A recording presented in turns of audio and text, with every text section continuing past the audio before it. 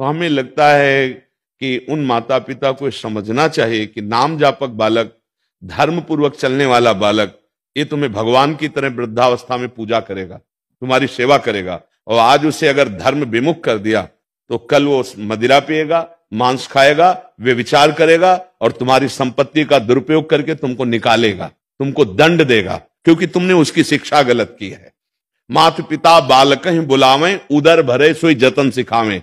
जिस प्रकार से धन बढ़ जाए, जिस प्रकार से तुम्हें भोग सामग्री मिले, वो आचरण माता पिता सिखाते हैं। लेकिन ये नहीं सिखाते कि भोगों में कैसे हम धर्म पूर्वक व्यवहार करें, कैसे हम संयम का वर्ताव करें, ये बात तो हमारे अध्यात्म से ही पता चलेगा। मानो जैसे सामने से वो आ रहा है, जो राष्ट्र विरोधी है, जो धर्म विरोधी है, जो दूसरों को बिना किसी अपराध के उनकी हत्या करता है। अब ऐसे को प्राण दंड देना ये सबसे बड़ी भक्ति हो जाएगी।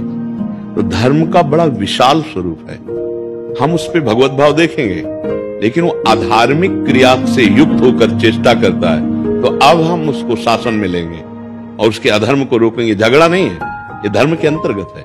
लेकिन जो एक धर्म का, दूसरे धर्म का आक्षेप करके वो समझ नहीं पा रहा इसलिए लड़ रहा है। जैसे हम राम कहते हैं कोई और नाम बोलता है भगवान का। क्या वो ये नहीं जान पा रहा कि सब में एक ही है? अगर ये नहीं जान पा रहा तो अज्ञानी है।